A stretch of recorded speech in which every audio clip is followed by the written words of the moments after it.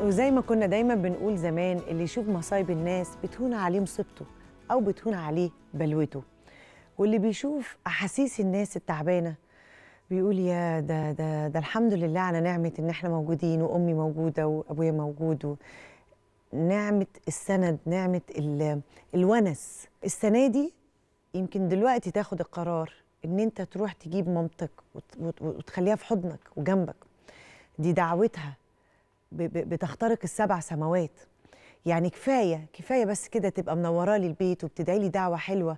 دايما دايما كنت أسمع أمي تقول لي إن إن أنا وأنا بدعي بيكون كده ال- ال- المصيبة نازلة ودعوة الأم بترفعها. أحاديث كتيرة وأقاويل كتيرة عن ال- ال- الرحمة اللي الأم طول ما هي عايشة ولادها بيستمتعوا بيها. عايزة أقول لكل القلوب الجحده لكل القلوب اللي, اللي, اللي, لهتها الدنيا لكل القلوب اللي الشغل والفلوس والحياة وسرعه الحياة خلوهم ينسوا أمهاتهم. لا ارجعوا ارجع تاني. دي أمك. آه مراتك معاك وولادك بس دي أمك. دي دي هي دي اللي دعوتها تخلي حياتك كلها نور. راجع نفسك راجعي نفسك. إزاي قادرة تدي حنان وطيبة لاولادك وبتخافي عليهم وتقولي لهم أمكم؟ زي اللي عملتيه في أمك؟ ولادك هيعملوه فيكي. أتمنى.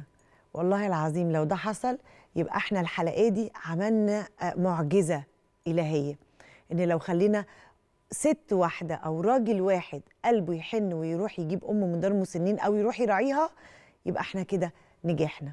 يا رب. وخدنا ثوابكم. وثواب أي أم انبسطت من قلبها وضحكت من قلبها لما ابنها وبنتها يدخلوا عليها. آه كل سنة وأنتم طيبين وكل سنة وأمي طيبة وكل سنة وكل أمهات المسلمين طيبين يا رب.